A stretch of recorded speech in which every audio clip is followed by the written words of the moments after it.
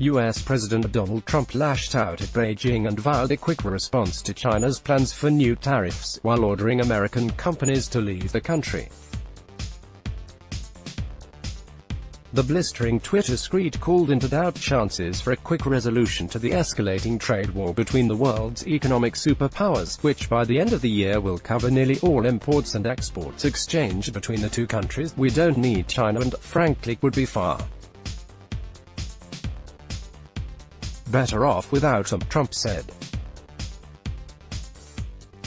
The trade friction already has slowed U.S. growth and undercut the global economy, so the threat of a deterioration sent stock markets falling sharply. The Dow lost more than 500 points from its peak, while London's FTSE and the German DAX also lost ground. Our country has lost, stupidly, trillions of dollars with China over many years. They have stolen our intellectual property at the rate of hundreds of billions of dollars a year. I won't let that happen, Trump wrote. Our great American companies are hereby ordered to immediately start looking for an alternative to China, including bringing your companies home and making your products in the USA. It is unclear under what authority Trump could demand private companies alter the production.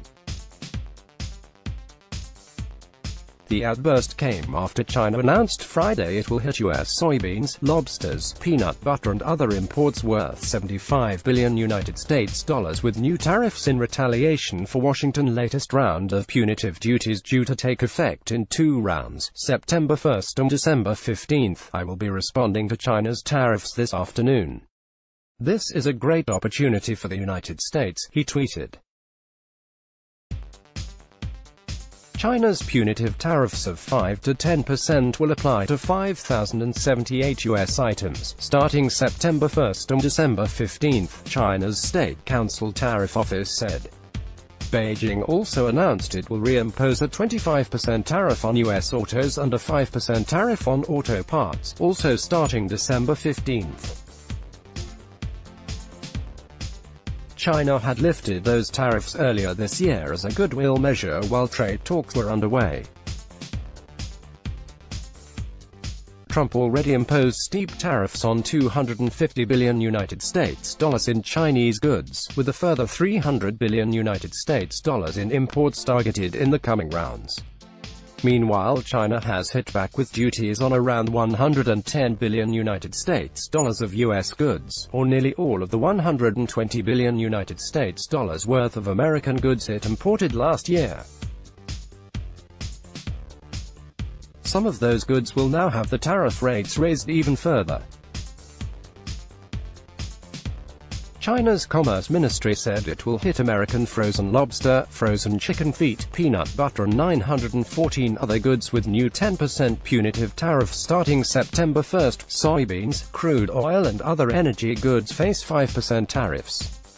The U.S. actions have led to the continuous escalation of China-U.S. economic and trade frictions, violating the consensus reached by the two heads of state in Argentina and the consensus reached in Osaka, China's State Council Tariff Commission office said in a statement, China's adoption of punitive tariff measures is forced under the pressure of U.S. unilateralism and trade protectionism, the office said.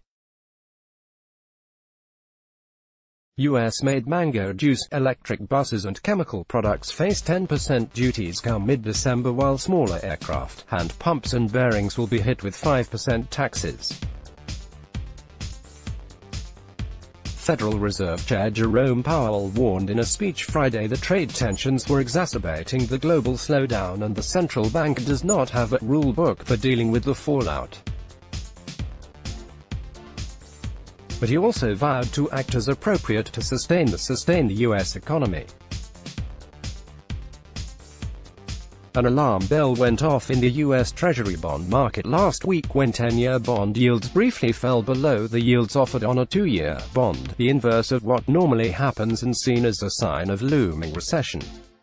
U.S. officials have said in recent days that trade talks with China will continue face-to-face -face next month. However China's Commerce Ministry spokesman Gao Feng said on Thursday he had no information on the next round of meetings, while noting the two sides remain in contact. The two economic giants are squaring off in an increasing number of areas with officials and spokespeople taking daily shots at each other over trade, territorial disputes in the South China Sea, protests in Hong Kong and U.S. actions against Chinese tech giant Huawei. AFP, let's block ads. Why?